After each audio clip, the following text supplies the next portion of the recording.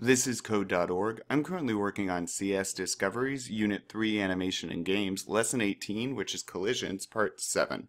I see code. I want to know what it does.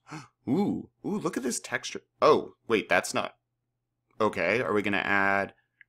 Oh, wow, they did floor like that. That's a great idea. All right, let's see what we're doing.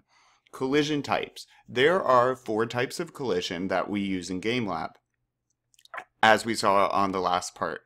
Uh, these blocks will cause a certain type of interaction between the sprite and the target. Ooh, are we going to use bounce? Displace, the displace block causes the sprite to push the target as long as they are touching each other. Oh, the sprites keep moving normally. Collide, the collide block makes the sprite stop when it runs into the target. If the target is moving, it will push the sprite with it. The target keeps moving normally.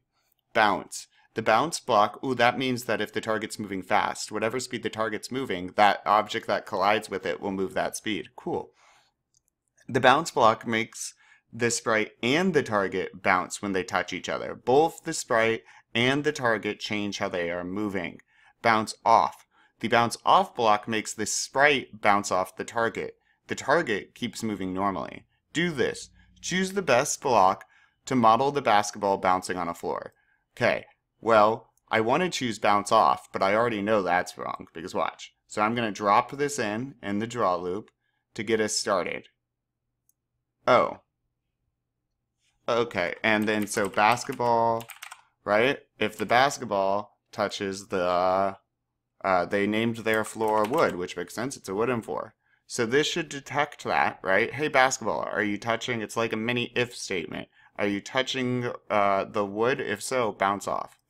The problem being, oh, bounce off's the right one. Okay, and so bounce then, I'm going to use copy and paste, control C, control V, control C, control V. I'm going to get rid of that guy and just test this. And that's the, ooh, that's a problem. Yep. All right. So we do want to use bounce off. Cool.